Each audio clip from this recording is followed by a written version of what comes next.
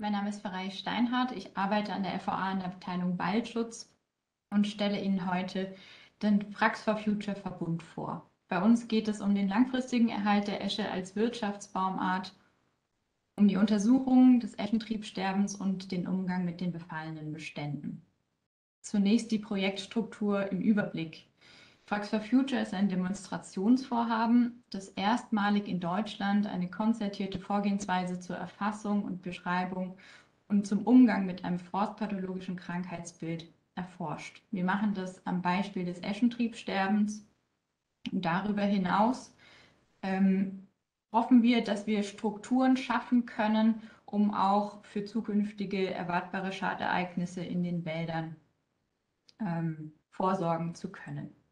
Es wurden fünf Forschungsverbünde ergründet und eine Ergänzungsstudie, die unterschiedliche Forschungsschwerpunkte verfolgen und sich eng vernetzen.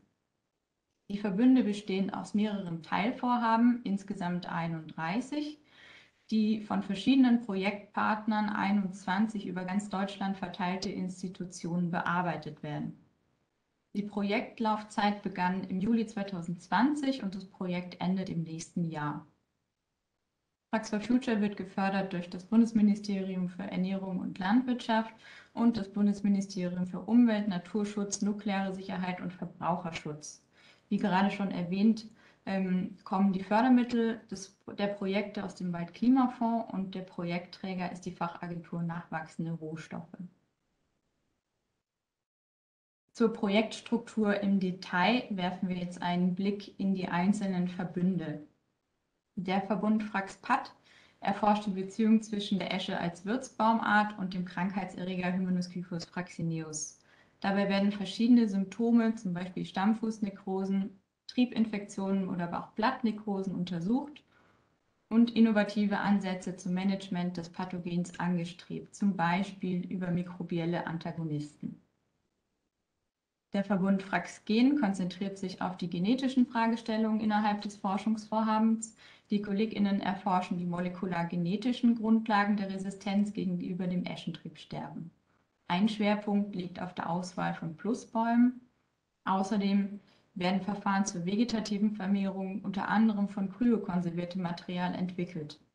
Aus dem Verbund Fraxgen hören wir später noch zwei Vorträge von meinen Kollegen aus der Abteilung Waldnaturschutz. Der nächste Verbund Fraxmon ähm, wird während der Projektlaufzeit die Schadentwicklung in Eschenbeständen sowohl terrestrisch als auch fernerkundungsbasiert überwachen und hat dabei eine einheitliche Schadansprache. Verschiedene physiologische Analysen zur Vitalitätsdiagnostik werden durchgeführt und es gibt auch mehrere Projekte mit dem Schwerpunkt Fernerkundung, die unter anderem an der Modellierung von Eschenvorkommen arbeiten. Anschließenden Vortrag erfahren Sie hier mehr auch zum Schwerpunkt der Fernerkundung. Im Waldbau, der Verbund Frax Silber, ähm, beschäftigt sich mit der Zukunft von Schadflächen, der Bestandespflege und dem Umgang mit Verjüngung. Außerdem wird der Einfluss von Mischbaumarten auf die Vitalität von Eschen untersucht. Prax Connect ist das Puzzlestück, das alles bisherige miteinander verknüpft und ist gleichzeitig der Verbund, in dem ich arbeite ähm, und der das gesamte transdisziplinäre Forschungsvorhaben koordiniert. Das mache ich nicht alleine, sondern auch zusammen mit meinem Kollegen Tim Burzler. Ein Schwerpunkt sind auch ökonomische Analysen zur betrieblichen Bewertung. Zu diesem Thema wird es heute ebenfalls noch zwei Vorträge von Kollegen aus der Abteilung Forstökonomie und Management geben. Im Mittelpunkt steht bei uns auch der Wissenstransfer in die forstliche Praxis. Und dann gibt es Fraxvir, eine Ergänzungsstudie, die 2021 gestartet ist und sich mit dem Einfluss von Virusinfektionen als zusätzlichen Stressfaktor auf die Eschen beschäftigt. Sie sehen, dass Frax for Future zusammengenommen sehr umfangreich und vielfältig ist. Auf unserer Homepage fraxforfuture.de können Sie nochmal ausführliche Informationen zu den einzelnen Teilvorhaben, zu Veröffentlichungen und auch Ergebnissen finden. Nun kommen wir zu einem Kernstück bei uns im Projekt und zwar unsere bundesweiten Untersuchungsflächen. In Frax for Future gibt es insgesamt 14 Flächen, die gemeinschaftlich von mehreren Projekten untersucht werden. Drei weitere Flächen gibt es ähm, speziell für Fraxvir. Das sind Samenplantagen und auch Klonflächen. Die Flächen, die Sie hier auch auf der Karte sehen können, befinden sich in verschiedenen Regionen Deutschlands und repräsentieren damit auch verschiedene Naturräume und Standortsbedingungen. Eine Voraussetzung war, dass der Gesundheitszustand der Eschen auf den Flächen möglichst die gesamte Breite der Vitalitätszustände abbilden soll. Nahezu alle Eschen weisen mittlerweile leichte Symptome des Eschentriebsterbens auf. Vollvitale Bäume gibt es so gut wie keine mehr. Auf unseren Untersuchungsflächen gibt es eine circa ein Hektar große Kernfläche. Die, die Verjüngung darin wird mit einem Zaun geschützt. Es gibt eine wissenschaftliche Veröffentlichung dazu. Ähm, unter anderem wird dort die Projektstruktur und auch die Untersuchungsflächen erklärt. Der Link wird hoffentlich im Chat geteilt. Da können Sie dann bei Bedarf auch nochmal nachlesen und sich im Detail informieren. Auf diesen Untersuchungsflächen werden die Bäume mehrfach jährlich bonitiert, einmal im Winterzustand und einmal im Sommer mit Belaubung. Dafür wurde bei uns im Projekt ein Boniturschlüssel zur terrestrischen Ansprache entwickelt, der auch projektübergreifend genutzt wird. Es ist eine bundesweit einheitliche und umfassende Anreichung zur Eschenbonitur, herausgegeben durch die FNR. Angesprochen werden dort sowohl die Krone als auch der Stamm von Altbäumen und die Merkmale sind in bestimmte Schadstufen eingeteilt. Darüber hinaus gibt es auch einen Schlüssel für die Jungeschenansprache. Und nun möchte ich Ihnen erste Ergebnisse dieser Bonituren zeigen Sie sehen ähm, die Bonitur des Kronenzustandes im Winter 2021-22. Es gibt ein Ampelsystem von grün bis rot, sogar bis lila. Ähm, in der Stufe 1 haben die Kronen nur erste Symptome, leichte Symptome, die werden immer stärker ähm, bis zur Stufe 4 mit einem sehr stark geschädigten Kronenbereich und fünf sind dann sogar abgestorbene Bäume. Und bei der Betrachtung der Kronenschäden zeigt sich, dass fast keine vitalen Eschen mehr in Deutschland zu finden sind. Einige Untersuchungsflächen scheinen weniger stark geschädigt. Hier zum Beispiel Sachsen-Anhalt, Niedersachsen oder auch Sachsen. Im Vergleich zu zum Beispiel Mecklenburg-Vorpommern, Brandenburg oder auch der baden-württembergischen Flächen.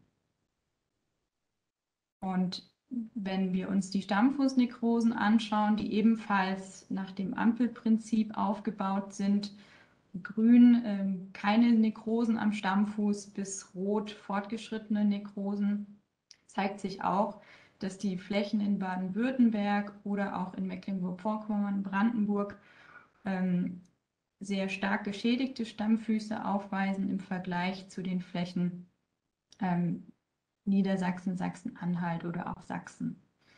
Lässt sich also sagen, dass im Nordost- und Südwestdeutschland der Anteil der stark geschädigten Eschen höher ist als in Mitteldeutschland. Abschließend bleibt aber auch zu sagen, dass das Ganze nur eine Momentaufnahme ist. Die letzten Bonituren und auch Auswertungen stehen noch aus. Und von den einzelnen Flächen lässt sich natürlich auch nicht direkt auf das gesamte Bundesland schließen. Wie geht es weiter bei uns im Projekt? Wir sind sehr breit aufgestellt, aber können bis zum nächsten Jahr natürlich nicht vollumfänglich das Eschentriebsterben erforschen. Wir arbeiten aber daran, dass die Ergebnisse unserer Expertinnen in eine Handlungsempfehlung für die Praxis einfließen, die Anfang nächsten Jahres erscheinen soll. Wir möchten dabei verschiedene Akteursgruppen einbinden. So planen wir zum Beispiel auch im Laufe dieses Jahres uns Feedback zur Handlungsempfehlung von PraktikerInnen zu holen, damit wir eben wissen, dass unsere Empfehlungen und Maßnahmen für die Praxis gemacht sind und in der Praxis auch sehr gut ankommen. Sobald es dazu was Neues gibt, erfahren Sie das auf der FVA-Seite und natürlich auch auf, über den Internetauftritt unseres Projekts fraxforfuture.de. Damit bedanke ich mich für Ihre Aufmerksamkeit und stehe für Fragen zur Verfügung. Ja, vielen lieben Dank, Ferral, für deine Übersicht. Das ist ja schon ein ziemlich großes Paket. Ja, Fragen sind jetzt im Moment im Chat nicht, aber trotzdem vielleicht eigentlich, ähm, wenn man sich überlegt, man erwartet wahrscheinlich von so einem Projektart oder von so einem Verbundvorhaben vielleicht, dass es jetzt so ganz äh, rein wissenschaftliche, mit naturwissenschaftlichen Fragestellungen Unterverbünde gibt. Und jetzt ist ja ein eigener Verbund ähm, mit der Koordination, dem Wissenstransfer und der Ökonomie beauftragt. Das ist vielleicht etwas ungewöhnlich. Und vielleicht möchtest du da noch mal was dazu sagen. Genau, ich habe ja hoffentlich aufgezeigt, dass es sehr, sehr vielfältig ist, ja verschiedene Forschungsbereiche gibt.